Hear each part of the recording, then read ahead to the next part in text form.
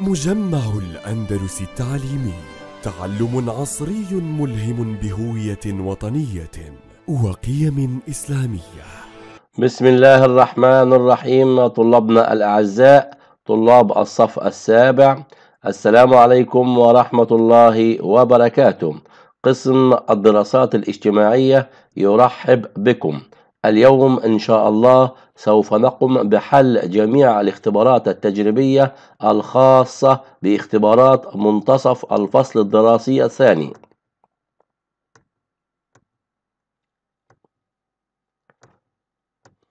الهدف من الإجابة على تلك الاختبارات أن يجيب الطالب على الأسئلة المقالية.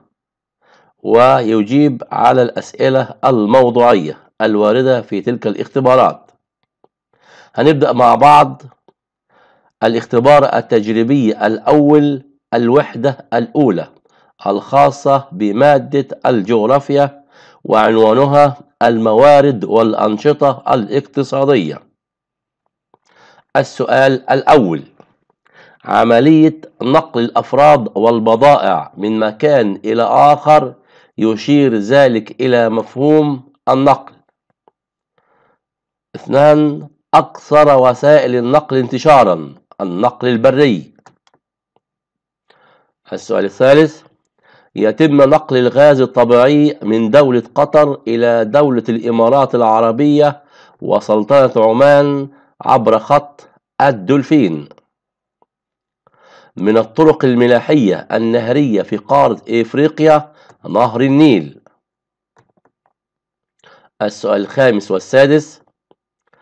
من أهم طرق الملاحة البحرية في العالم لنقل التجارة المحيط الأطلسي.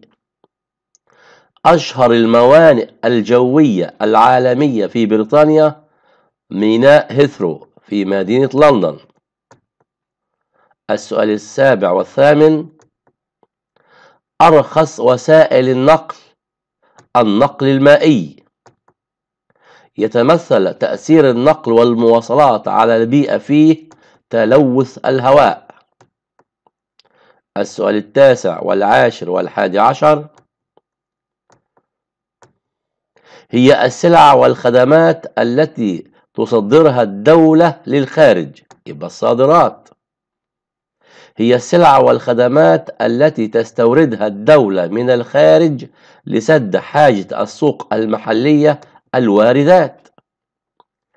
أكبر دول العالم من حيث الصادرات الصين. السؤال الثاني عشر والثالث عشر. أكبر دول العالم من حيث الواردات أمريكا. أكبر دول العالم استقبالا للصادرات القطرية كوريا الجنوبية. السؤال الرابع عشر أكثر السلع التي تأتي في مقدمة الصادرات القطرية الغاز الطبيعي.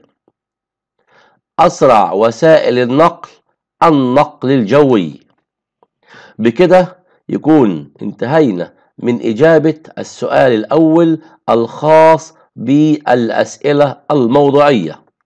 ننتقل على السؤال الثاني وهو السؤال الخاص بالأسئلة المقالية. السؤال الأول ما أهمية وسائل النقل والمواصلات؟ ترجع أهمية وسائل النقل والمواصلات في انتقال الأفراد والبضائع زيادة حركة التجارة إعادة توزيع السكان تحقيق التنمية الاقتصادية. السؤال الثاني أذكر أهم أنواع النقل البري. ينقسم النقل البري إلى ثلاث أقسام. ألف الطرق المعبدة الداخلية والخارجية. باء السكك الحديدية جيم النقل بالأنابيب. السؤال الثالث ما أهمية النقل بالسكك الحديدية؟ بيتميز بالسرعة في نقل الركاب والبضائع أقل تأثرا بالظروف المناخية وأكثر وسائل النقل أمانا. السؤال الرابع عدد أهم خطوط النقل بالأنابيب في منطقة الخليج العربي. أهمها خط الدولفين بينقل الغاز من قطر إلى الإمارات وسلطنة عمان وخط التابلين الذي ينقل البترول من شرق شبه الجزيرة إلى سواحل البحر المتوسط. السؤال الخامس اذكر أهم أنواع النقل المائي ينقسم النقل المائي إلى النقل البحري والنقل النهري. السؤال السادس ما العقبات التي تواجه النقل النهري؟ يعترض النقل النهري عدة عقبات تنقسم إلى طبيعية وهي الشلالات والجنادل ونقص عمق المياه وبشرية مثل السدود والجسور. السؤال السابع. قارن بين النقل المائي والنقل الجوي من حيث المميزات والعيوب. لو نظرنا إلى الجدول من حيث وجه المقارنة النقل المائي والنقل الجوي المميزات. من مميزات النقل المائي أرخص وسائل النقل وينقل بضائع كبيرة الحجم ثقيلة الوزن. أما من مميزات النقل الجوي أسرع وسائل النقل وتجاوز العقبات الطبيعية كالجبال والغابات والصحاري. أما بالنسبة للعيوب من عيوب النقل المائي وجود الجنادل والسدود كما في النقل النهري. أما من عيوب النقل الجوي أغلى وسائل النقل ويتأثر بالظروف المناخية والسياسية. السؤال بننتقل إلى السؤال الثامن. عدد أهم طرق الملاحة النهرية في العالم وهي نهر النيل في إفريقيا وروافده في مصر والسودان ونهر الراين والدانوب في أوروبا. السؤال التاسع. اذكر أهم طرق الملاحة البحرية في العالم في التجارة الدولية. طريق المحيط الأطلسي ويساهم في المئة من حجم التجارة الدولية. وطريق المحيط الهادي. السؤال العاشر ما تأثير النقل والمواصلات على البيئة؟ يتمثل تأثير النقل والمواصلات على البيئة في تلوث الهواء ارتفاع مستوى الضوضاء والتوسع في الطرق على حساب المساحة الخضراء السؤال الحادي عشر مقالي ما مقترحاتك للحد من المشكلات البيئية المترتبة على النقل والمواصلات. واحد التصميم المناسب للطرق. التوسع في المساحات الخضراء. تخطيط أماكن انتظار السيارات. والاهتمام بالجانب الجمالي. السؤال الثاني عشر. ما أهمية التجارة؟ تتمثل أهمية التجارة في تصريف فائض الإنتاج المحلي سد حاجة الأسواق المحلية توفير فرص العمل زيادة الدخل القومي. السؤال الثالث عشر اذكر مقومات التجارة. بمعنى ما هي العوامل التي تساعد على قيام التجارة؟ تتمثل في فائض الإنتاج والمال والنقل والسوق والأمن. يبقى هنا بيقول لي فرق بين مقومات التجارة ومكونات التجارة. مقومات التجارة تعني العوامل التي تساعد على قيام التجارة. أما السؤال الرابع عشر وفيه بنحدد مكونات التجارة الدولية. فرق بين المكونات والمقومات. المكونات السلع الغذائية والسلع النقدية والسلع الصناعية والسلع المعدنية ومصادر الطاقة كما في البترول والغاز والفحم. أما بالنسبة للسؤال الخامس عشر اذكر أهم الصادرات القطرية وهي الغاز الطبيعي والنفط. أما السؤال السادس عشر الخاص بقسم الجغرافيا عدد أهم الواردات القطرية تتمثل في الطائرات والسيارات والأجهزة الإلكترونية والكهربائية. ده بالنسبة للاختبار التجريبي الأول الخاص بقسم الجغرافيا. أما الاختبار التجريبي الثاني وهو بيتكلم عن قسم التاريخ وهو عنوانه الحضارة الإسلامية في الدولة العباسية ومظاهرها السؤال الموضوعي الأول رأس السلطة السياسية والدينية وصاحب الرئاسة العامة في الدولة هو الخليفة. الشخص الذي ينظم إدخال الناس على الخليفة هو الحاجب. ظهر منصب قاضي القضاة بالدولة العباسية في عصر الخليفة هارون الرشيد. أي من التنظيمات الإدارية في عصر الدولة العباسية يشبه الوزارات حاليا الدواوين. اشتهرت مصر في عصر الدولة العباسية بصناعة الورق. من العلوم الشرعية التي تهتم بتفسير القرآن ومعرفة أسباب نزوله علم التفسير. تعد من العلوم الشرعية التي تهتم بدراسة أحكام الشريعة يبقى عندي علم الفقه. أما الجهاز الذي يشرف على مراسلات الخليفة للأمراء وقادة الجيش البريد. الفئة التي تعمل في الترجمة والمؤسسات الإدارية والدواوين أرباب الأقلام من أصحاب البلاد المفتوحة وتعاني من تدهور الأحوال الاقتصادية أصحاب المهن. القادة العسكريون الذين انفردوا بالحكم في فترة ضعف الخلفاء الجند. مؤسس علم الكيمياء في العصر العباسي العالم المسلم جابر بن حيان. أشهر علماء المسلمين في الفيزياء ومؤسس علم البصريات العالم المسلم الحسن بن الهيثم. يرجع له الفضل في تأسيس علم الجبر محمد بن موسى الخوارزمي. الخليفة العباسي الذي شيد قصر الذهب هو الخليفة أبو جعفر المنصور. كده انتهينا من الأسئلة الموضوعية الخاصة بالاختبار التجريبي الثاني وننتقل إلى الأسئلة المقالية الخاصة بوحدة التاريخ والاختبار التجريبي الثاني. السؤال الأول وضح عوامل إزدهار الحضارة الإسلامية في العصر العباسي. واحد الاستقرار السياسي والرخاء الاقتصادي وتشجيع الخلفاء وصناعة الورق ونشاط حركة الترجمة. السؤال الثاني أذكر عناصر نظام الحكم في العصر العباسي.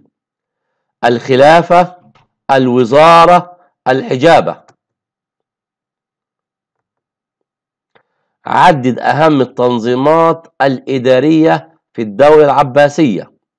الولاية الدواوين البريد الجيش الشرطة القضاء.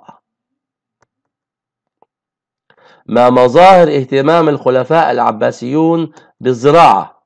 تحسين الري استصلاح الأراضي وظهور حاصلات جديدة وحفر الترع. وضح مظاهر اهتمام الخلفاء العباسيون بالتجارة. إقامة المحطات والآبار إقامة الموانئ البحرية إقامة المراكز التجارية وسك العملة. نكتفي في من كل سؤال فيه أربع نقاط نكتفي بثلاث نقاط فقط. عدد أهم الصناعات في الدولة العباسية الزجاج والخزف المنسوجات السفن الورق. ما أسباب اهتمام المسلمين بعلم الجغرافيا لمعرفة الطرق والمسالك ورسم الخرائط لها ومعرفة البلدان الجديدة.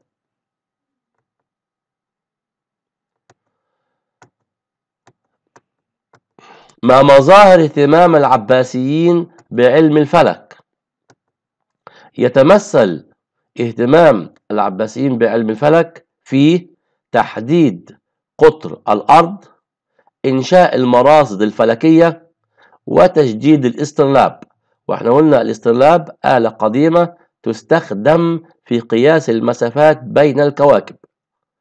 ما أبرز إسهامات المسلمين في الكيمياء تأسيس المنهج التجريبي اكتشاف المركبات الكيميائية واكتشاف الورق الحراري الغير قابل للاشتعال أو الاحتراق.